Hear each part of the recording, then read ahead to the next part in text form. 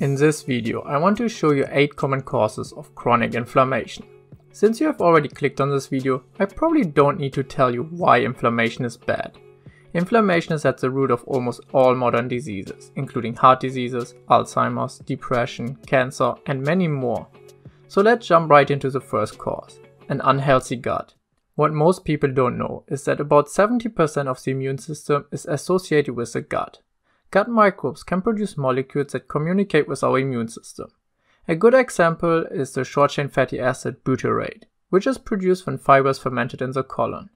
Butyrate stimulates the production of regulatory T cells, which help to dampen any unnecessary inflammation. Another important factor is the permeability of our gut cell wall. An increase in gut permeability, aka leaky gut, can cause inflammatory molecules to get into contact with our immune cells, where they then cause inflammation. One of these inflammatory molecules is called lipopolysaccharide, or short LPS, and many studies found that it causes all kinds of diseases, ranging from heart diseases over diabetes to Alzheimer's. A recent study found that healthy centenarians had significantly lower blood LPS levels compared to unhealthy young adults. So keeping your gut cell wall tight might be a worthwhile attempt to longevity.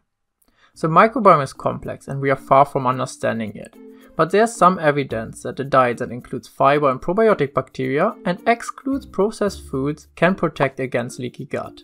This brings me to the next cause of chronic inflammation, processed foods. Food processing removes the healthy parts of the food, such as fiber and vitamins, and adds harmful chemicals that can induce inflammation. Researchers found that common food additives cause inflammation in the gut by affecting the gut microbiome. Carrying around some extra pounds and being physically inactive can also drive inflammation. During the last decade, researchers found that fat tissue secretes inflammatory molecules.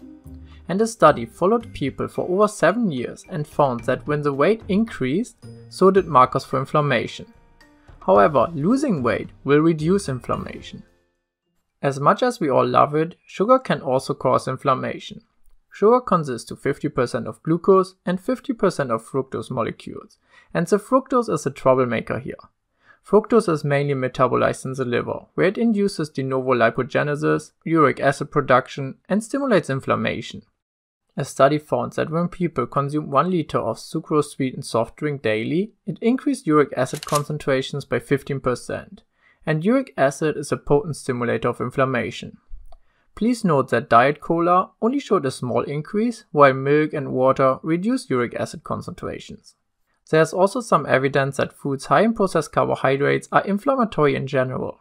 For one study, people were divided into a low carb diet group with 12% carbs and 59% fat, or a low fat diet group with 56% carbs and 24% fat.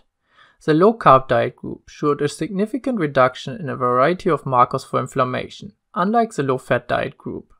Vegetable oils might also be a cause of inflammation. The intake of vegetable oils has increased manifold over the last years. Vegetable oils are high in polyunsaturated fatty acids, which makes them susceptible to oxidation when heated. And oxidation leads to the production of aldehydes, which is toxic for our cells. Aldehydes are also the reason why you feel crappy after drinking. Anyways, researchers found that oils like corn oil or sunflower oil create up to 4 times the amount of aldehydes when heated compared to coconut oil or butter. Vegetable oils are also high in omega-6 fatty acids, which mostly lead to the production of pro-inflammatory molecules. However, we need some levels of omega-6 in our diet, and studies found that as long as the omega-6 intake isn't too high and the omega-3 intake is adequate, it won't cause inflammation. Now having said this, the modern omega-3 to omega-6 ratio is out of whack, with people consuming far too much omega-6 fatty acids. Chronic stress leads to many diseases, and this is most likely because stress causes inflammation. The confusing thing here is that cortisol, the major stress hormone, is one of the most powerful immunosuppressant molecules we know. So how does it come that chronically high cortisol levels cause inflammation? Well, by a similar way as high insulin causes insulin resistance. A research team from the United States found that people with chronic high stress levels develop stress resistance, which in turn causes inflammation. Certain nutrient deficiencies like vitamin D, magnesium or zinc, to just name a few, can also cause inflammation. A study compared people with low versus high levels of magnesium and found that the people with low levels had a 50% higher risk of having high levels of inflammation. Okay, these are the most common causes of inflammation. I could only touch on each topic shortly in this video, but if it gets more than 100 likes, I will make a more detailed video on each point. Also, there are other causes of chronic inflammation, such as undetected allergies and persistent infections, but for most people, these 8 factors are main contributors to chronic inflammation. Here's another video that shows how to reduce inflammation naturally, and another one that includes a list of anti-inflammatory foods. Thank you for watching and see you next time.